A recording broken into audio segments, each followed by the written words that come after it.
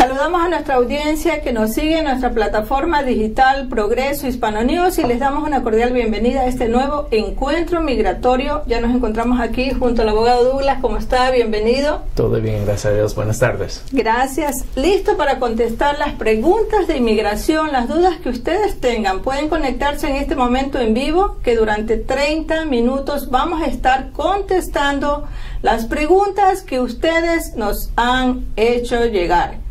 Comenzamos. Vamos a mostrar en estos momentos la página del USCIS en donde está hablando sobre eh, la, eh, la como el tema de la extensión del de TPS. la extensión del TPS para los salvadoreños, hondureños y nicaragüenses, justamente porque hay una persona que nos hizo una pregunta, entonces nos dimos al trabajo de realizar eh, esto, de entrar a la página del USCIS para que ustedes vean cómo se ve y en qué parte está indicando lo que usted no tiene que volver a renovar. El abogado Douglas les va a explicar más a ustedes sobre esto. Sí, y um, buenas, buenas tardes a todos. Y uh, como ustedes pueden ver en la página de, USCIS, y um, bueno, siempre um, la primera cosa um, interesante es que para el sitio de, de USCIS, um, que es uscis.gov, um, lo bueno es que pueden, entrar, pueden encontrar mucho de la información en inglés y también en español um, y en otros idiomas también. Um, un problema que yo he visto a veces con el sitio es que el sitio a veces, bueno, um, por ejemplo, aparece eh, el- la información en inglés un día, pero todavía falta una semana o dos semanas para conseguir la información en español. Entonces, algo que ahora está correcto en inglés, no he chequeado cómo está en español. Sí, está en Um, español. pero um, dice que la inmigración um, va a, extender um, automáticamente hacia el 4 de enero de 2021, que se puede ver um, ahí donde dice alert. Um, dice que la inmigración va a extender la validez de algunos documentos relacionados con el TPS. Un documento muy importante es el permiso de trabajo, que es un Employment Authorization Document. Um, segundo es la forma I-797, um, Form I-797. Um, eso es la forma de la aprobación um, de- del TPS o del permiso de trabajo también. Entonces, lo que dice ahí es que la inmigración está dando la extensión de esos documentos importantes, que es el permiso de trabajo y que es la I-727, lo siento, también, uh, que es uh, la carta de aprobación del TPS. Um, es un, eh, hay un poco de confusión um, y yo he recibido muchas llamadas de, personas que me, están preguntando, um, bueno, yo he estado registrando re- eh, de nuevo para el TPS cada 18 meses, uh, de- desde 99, desde 2000, algo así. Abogado, yo no entiendo por qué ahora no tengo que meter papeles de nuevo. Eh, y claro, ah, para mucha gente que están acostumbrados a hacer lo mismo para dos décadas, ¿por qué no tengo que hacerlo de nuevo?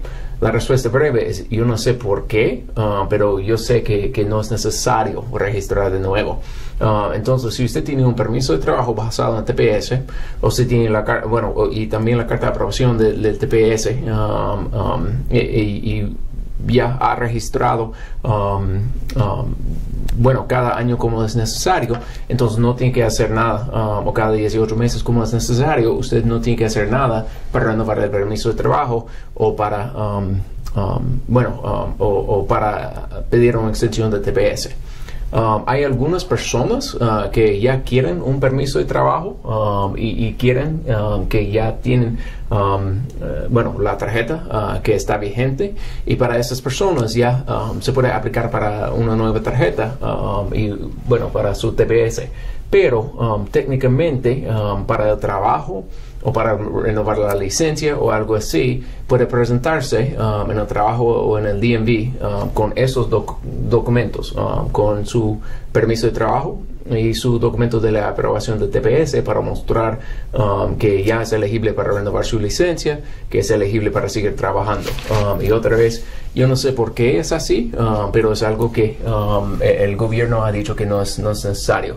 So, Eh, gracias, abogado. Lo más importante para las personas, porque no van a tener que pagar nuevamente por una renovación. Y como ustedes vieron la explicación y escucharon del abogado en el uscis.gov, usted escribe TPS escribe el nombre del país eh, al cual usted eh, pertenece y le va a salir la información. Y eso es lo que necesita imprimir, ¿no es así? Sí, eso es lo que necesita imprimir. Y posiblemente a veces cuando va al trabajo o cuando va a renovar la licencia, posiblemente va a tener que hacer un poco de Um, educación a la persona que está ayudando uh, en esa situación. Y por eso es importante explicar claro, uh, tranquilo y con paciencia. Mira, eso es, bueno, lo que está pasando con mi estatus. Yo sigo un estatus legal. Yo tengo uh, permiso de trabajo que está vigente, aunque dice la tarjeta que se, venció. Um, y, hay que tener paciencia con el proceso.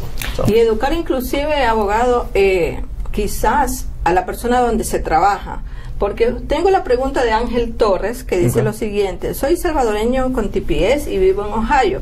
Escuché la semana pasada lo que usted dijo en diferido del Facebook, que no hay que aplicar para renovar nuevamente el TPS, pero resulta que en mi lugar de trabajo me dijeron que que no me aceptan la hoja que imprimí del USCIS, donde dice que está extendido hasta el 4 de enero del 2021 el TPS. Si no les llevo la nueva tarjeta del TPS, ¿Qué opina usted al respecto? ¿Qué debo hacer? Me dieron el plazo hasta el 10 de diciembre. Mm, lo siento, Ángel, que esto está pasando y eso es lo que me preocupa de la verdad de esta situación. Es que los, um, uh, bueno, la gente de trabajo, los gerentes o cualquier persona de los empleadores, cualquier persona de los recursos, recursos humanos, um, lo interesante de esta situación es que la gente de los recursos humanos están intentando seguir la ley pero en, bueno, en, intentando seguir la ley, ellos están haciendo algo que está en contra de la ley. Um, y lo que me um, preocupa, porque trabajamos con individuales y con, eh, con empleadores también, es que en esta situación el empleador posiblemente estará ya, bueno, abierto o, bueno, um, en riesgo de una queja de una persona porque no está aceptando los documentos que el gobierno dice que son suficientes. Um, entonces, um, eso es algo, lo siento Ángel, que, que, esto pasó y lo que yo puedo imprimir, porque yo lo vi, hay, hay, una guía por el sitio de uscis.gov Um, hay una guía que, que dice uh, cuáles son los documentos que los empleadores pueden aceptar para la gente que tiene esta extensión de TPS. Igual importante de, de, um, de la educación. Y um, si me dan un chance, uh, yo puedo buscarlo por internet um, y yo puedo, um, bueno, enviar esta situación, eh, esta información al Progreso Hispano para que ellos puedan poner en su sitio en internet y posiblemente eso es algo que se puede ayudar también, porque posiblemente los empleadores necesitan algo un poco más claro para explicar exactamente cuáles son los documentos que se pueden aceptar. Y si, um, bueno, hoy día en la tarde, si me da un chance, ya yo envío a, al Progreso Hispano esta información para que ellos puedan poner esa información en su página de internet. Claro que sí, con mucho gusto. Gracias, abogado. Contestaremos la pregunta de Rocío Medina Jiménez, que nos hizo llegar a través de eh, YouTube que dice lo siguiente, ella es desde Michoacán, nos está escribiendo. Mi hijo tiene 21 años y yo entré ilegal solo una vez pero me salí de Estados Unidos hace 11 años, salida voluntaria, no deportación ni nada. Tengo récord limpio. ¿Hay posibilidades que mi hijo haga una petición para mí como su madre y para mi hijo de 10 años? Espero su respuesta. Gracias, señora ah, Rocío. Eso es, uno, eso es una buena pregunta. Y nosotros hemos estado hablando mucho con clientes sobre esa situación. Y en esa situación, ah, la respuesta breve es que ah, sí, hay, posibilidades de que su hijo pueda pedir a usted. bajo la ley, cuando un hijo tiene 21 años y es ciudadano de los Estados Unidos, puede pedir a sus papás. La pregunta más importante es si o no sus papás pueden arreglar la, la residencia. Um, y, la respuesta breve es que es probable en esta situación que sí se puede. Um, para arreglar la residencia por ruta de su hijo sería un proceso de como tres pasos y ahora con México está un poco atrasado. Me imagino que va a tardar como un año y medio más o menos. Uh, pero primero su hijo puede meter un I-130 para usted cuando cumple los 21 años después de la aprobación de la I-130, usted va a aplicar para lo que se llama la visa inmigrante con el Centro de Visa Nacional. Y tercero, usted ya va a tener una entrevista en Ciudad Juárez. Para la entrevista será importante que usted tiene pruebas mostrando que usted salió del país y ha estado fuera de los Estados Unidos para más de 10 años, porque normalmente cuando alguien ha estado aquí para más de un año indocumentado, um, y sale del país, normalmente tiene un castigo de 10 años para regresar para los Estados Unidos. Lo bueno es que este castigo ya ha pasado y porque usted solo tiene una entrada, si tenía varias entradas, o posiblemente una situación diferente, posiblemente necesitaría un perdón, pero en la situación de lo que me ha dicho, no veo ninguna necesidad para un perdón. Um, entonces va a tener su entrevista en la embajada en Ciudad Juárez y, y en la entrevista, si ellos dicen que todo está bien, uh, creemos a usted que usted salió del país hace 11 años, entonces puede aprobar la, residencia para usted. Um, la cuestión que sería importante es la cuestión de su hijo también, que tiene 10 años. Yo creo que en vez de que su hijo, que es ciudadano, hace una petición para su otro hijo que nació en México, mejor que usted como residente pide a su hijo, aunque tiene 10 años. La razón es porque, um, um, bueno, para este proceso, para su hijo que es ciudadano, para pedir a su otro hijo, el proceso va a durar, um, bueno, como 20 años, algo así, es una espera bien larga.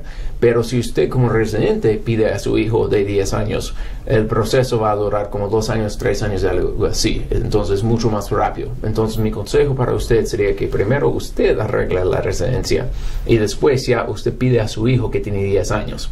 Um, y eso va a ser uh, la ruta mejor. Lo difícil, claro, es que el hijo que tiene 10 años no se puede venir con usted a los Estados Unidos, uh, pero um, e, eso es algo que Um, lo bueno es que hay ya una ruta. Um, bueno, claro, si tiene cualquier pregunta sobre el caso, um, nos puede llamar.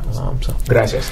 Gracias, abogado. Gracias a la gente que nos le envía saludos, también a usted. Saludos desde Ecuador. Buenas tardes. Morales Gavito, Lilia Chávez.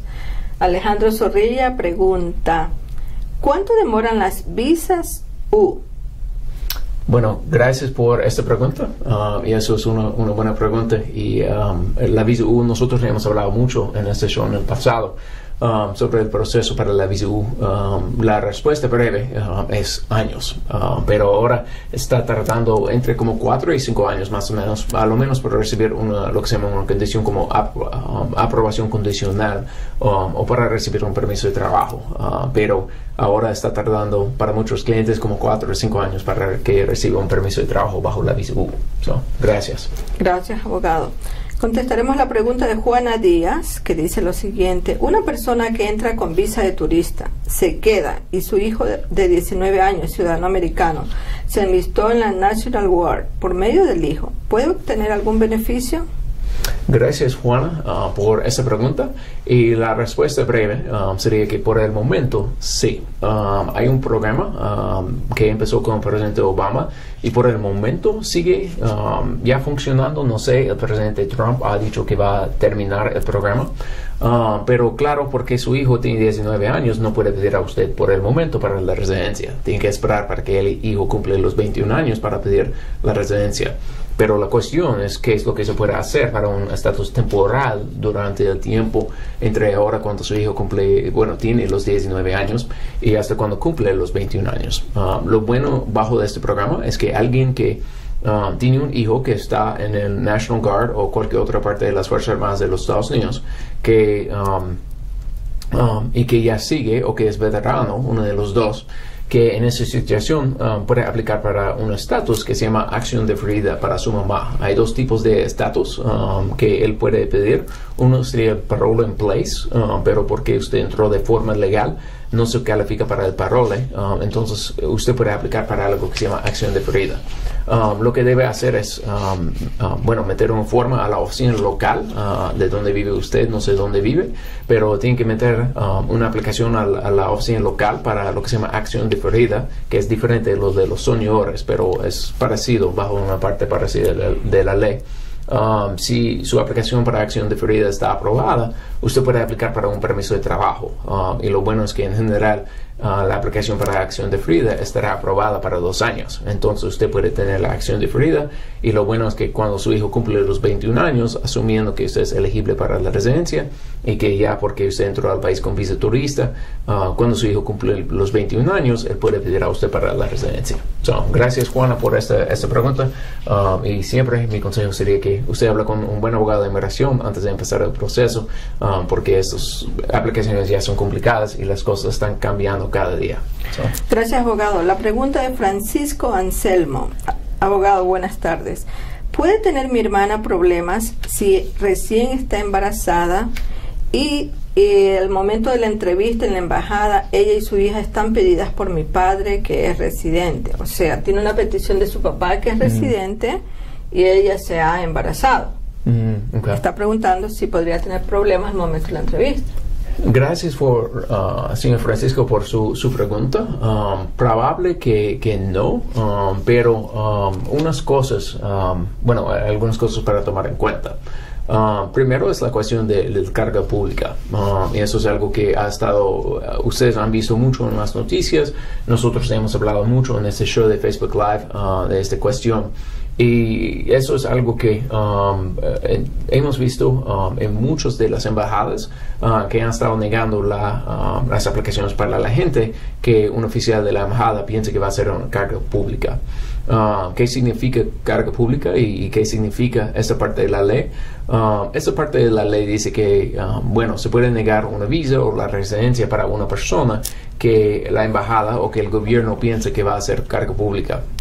en esa situación, Um, posiblemente un oficial puede decir porque ella está embarazada que va a llegar a ser um, una carga pública. Um, yo creo que sería importante en esa situación para mostrar que ella o un familiar tiene los fondos para pagar para un seguro para ella cuando llega a los Estados Unidos. Y, otra cosa que es importante, si está, está, trabajando algo así, sería importante para mostrar que, mira, está trabajando ahora y va a seguir trabajando en el futuro. Yo, y um, otra cosa para tomar en cuenta um, es si el niño, um, bueno, espero que está arreglado la visa rápidamente, porque si el niño nace aquí en los Estados Unidos, va a recibir un pasaporte de los Estados Unidos y va a ser ya más, más fácil las cosas. Si no, va a tener que agregar al niño a la aplicación de ella y los dos pueden entrar como residente. Pero gracias por su pregunta y uh, buena suerte con el caso. Gracias, abogado. Uh, quisiera acotar algo que acaba de escribir Alejandro Zorrilla, el señor que preguntó sobre las visas U. Okay. Dice, soy de Colombia, hace un año que estuvo en Estados Unidos, mi abogado en Los Ángeles, llamando la aplicación para mi visa U. Fui a Estados Unidos por medio del FBI, pero regresé hace dos años a mi país por mi hija e hijo acá en Colombia.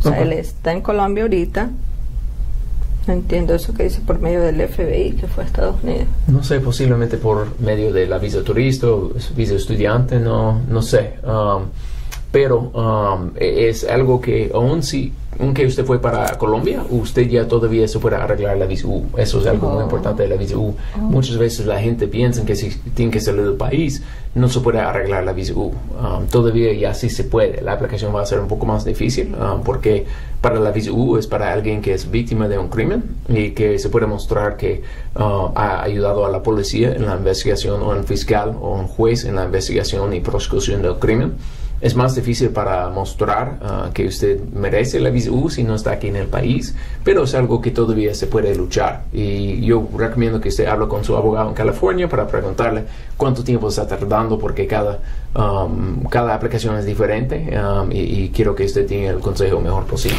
Claro, en la cota que dice, me gustaría volver a Estados Unidos para seguir de cerca mi caso, ya que los demás aplicantes para la visa U se encuentran en Estados Unidos sin ningún problema. Yo regresé voluntariamente, sin ningún problema, con consentimiento del FBI. Ah, ok, ok. Entonces posiblemente el FBI quiere, entonces ya, um, si el FBI quiere um, dar un aviso a usted o un parole o algo así, uh, para que usted pueda seguir viviendo aquí en los Estados Unidos, Ah, bueno, me parece como un caso muy importante ah, y eso no, pasa mucho. Entonces, si ellos quieren ya dar a usted un permiso para regresar a los Estados Unidos, claro, mejor que regrese. gracias por su pregunta y buena suerte con su caso. Gracias, abogado. Contestaremos la última pregunta de Ángel Cáliz, que dice, soy hondureño y me deportaron varias veces y me cargaron con reentro ilegal. Mm. Hice una condena de seis meses con un año de probatoria federal. Esto pasó en el 2013. Ya pasaron todos estos años y no volví a América. Tengo dos hijos americanos, uno de 16 y el menor de 11 años, y apliqué por asilo en 1999. Y nunca asistí a la corte y, y desde ese día me deportaron en ausencia. Luego me deportaron tres veces y me pasó lo mencionado. Ahora, debido a toda la crisis de extorsión y asesinatos en mi familia ocasionados a todos los problemas políticos y civiles que pasan en Honduras, estoy viviendo en, los en México, pero mm. quiero volver a aplicar por el asilo, pero haciéndolo en custodia de migración. ¿Habría alguna posibilidad que pueda arreglar algo evitando la deportación? Ninguno de mis cargos criminales incluyen droga, armas, violencia doméstica o muerte alguna. ¿Qué puedo hacer en mi caso?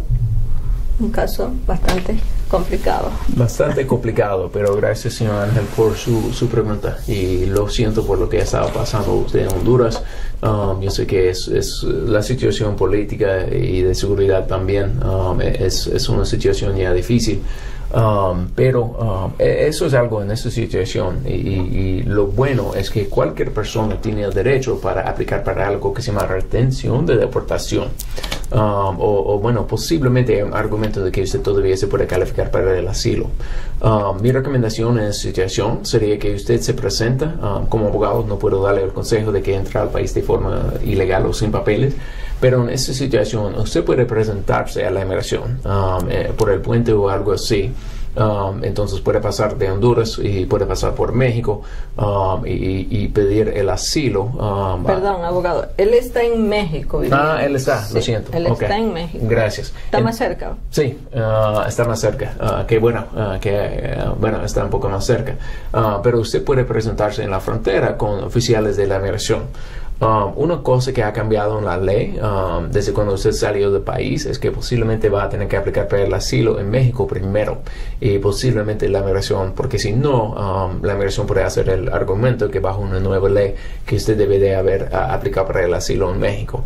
Si ha aplicado para el asilo y en México ha sido negado, o si usted quiere, usted ya puede presentarse a los oficiales en un puente, en un puente o un lugar de entrada a los Estados Unidos puede explicar a ellos su caso. Um, si usted tiene documentos relacionados con su caso, sería mejor. Y lo que va a pasar probablemente es que ellos van a detener a usted um, y, van a um, dar a usted una audiencia uh, para algo que, que, se llama withholding of removal, retención de deportación o el asilo, uno de los dos. la cosa que es difícil de, esos casos es que ya, ya son, son difíciles y usted tiene un caso bastante complicado pero es algo que si usted um, no se puede regresar a su país y, todo eso hasta ha pasado a usted y a su familia, uh, mejor que intenta y aplica para el asilo o para la retención de deportación. Um, lo siento otra vez que esto pasó um, y, buena suerte con, con, su caso y recomiendo que antes de que se tome cualquier decisión de presentarse con la inmigración o algo así, recomiendo que usted hable con un buen abogado de inmigración sobre su caso para prepararse bien para su entrevista con la inmigración porque va a tener entrevista, después va a tener corte y um, eso es un, proceso bastante complicado y porque usted ha sido deportado en pasado es aún más complicado pero yo creo que con buena ayuda legal bueno hay hay, posibilidades de luchar su caso. gracias, señor Ángel, por su pregunta. Gracias, abogado. Contestaremos esta pregunta en vivo que me están pidiendo, por favor, eh, de Mary J. Rowell, que dice, hola, soy residente permanente casada con americano. Mi pregunta es, en los requisitos para hacer la ciudadanía, ¿tengo que tener el pasaporte venezolano vigente? El mío está vencido y no he salido de uso en ningún tiempo. Gracias, Mary J. Y eso es una buena pregunta y la respuesta breve sería no. Um, lo bueno es que muchas veces para la ciudadanía, si alguien no tiene historia criminal um, ni nada así, ya lo único que la inmigración pide um, sería copia de su tarjeta de residencia. claro, vale la pena revisar bien las instrucciones o hablar con un buen abogado de inmigración sobre su caso, pero en general no es necesario uh, copia de su pasaporte de Venezuela. Y igual hay, bueno, había la, orden del gobierno que dieron extensión de cinco años para los pasaportes uh, para la gente de Venezuela, uh, porque sabe que no están dando los pasaportes a mucha gente ahora. Um, gracias por su pregunta, pero um, no necesita pasaporte vigente de Venezuela para aplicar para su ciudadanía. Bueno, gracias abogado. Queremos agradecer a todas las personas que se conectaron en vivo el día de hoy, a las personas que nos hacen llegar también sus preguntas.